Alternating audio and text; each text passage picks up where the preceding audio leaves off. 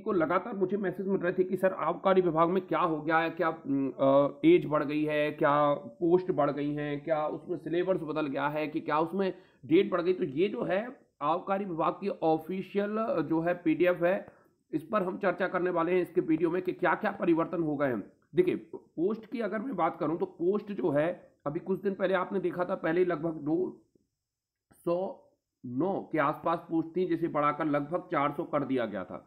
Clear है? और इसके अलावा अब जो परिवर्तन हुए हैं, वो सारे हम डिस्कस कर लेते हैं। तो सबसे पहला परिवर्तन जो हुआ है आबकारी विभाग में खास तौर से, वो ये परिवर्तन हुआ है कि अब आपकी जो फॉर्म भरने की लास्ट डेट थी चौबीस तारीख, उसे बढ़ाकर अब उनतीस तारीख, सीधे पाँच दिन बढ़ा दिए गए हैं, है ना? तो अब आप पाँच दिन फॉर्म ज़्यादा भर सकते हैं। अब सवाल उठता है, ये क्यों किया गया? क्योंकि सामान्यतः ऐसा करता नहीं है। पटवारी में आप कभी नहीं सोचना कि आपकी फॉर्म डेट बढ़ेगी। जैसे ही नोटिफिकेशन आए, तुरंत फॉर्म भरने कूच कर जाए। और इस, ये क्यों हुआ? है एक्चुअल में क्या किया है? सरकार ने सैलरी भी डिसाइड है। सैलरी आपको पता ही है कि जो आबकारी विभाग में सैलरी होती है, वो होती है वेतनमान उन्नीस हज़ार पाँच सौ से बासठ हज़ार का ये ग्रेड पे चलता है इसमें। एज लिमिट बढ़ा दी गई है।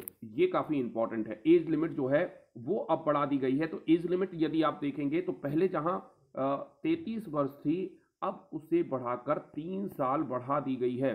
तीन साल एज रिलैक्सेशन कर दिया गया है, क्योंकि लगातार ये मांग उठ रही थी कि कोविड के कारण दिक्कत हो गई है। तो दो बड़े परिवर्तन जो हैं, इस वैकेंसी में कर दिए गए हैं। पहला परिवर्तन तो ये किया गया है। पहला परिवर्तन जो है, वो ये किया गया है कि आपकी फॉर्म भरने की डेट जो है वो भर दी गई है, वो बढ़ा दी गई है और दूसरा जो परिवर्तन किया गया है वो ये है कि अब आप एज लिमिट जो है वो तीन साल बढ़ा दी गई है। ओके, उम्मीद है आप सारे चीज़ें समझ गए होंगे। इसी तरह के अपडेट के लिए चैनल को सब्सक्राइब कर लें। Thank you for watching. Great day.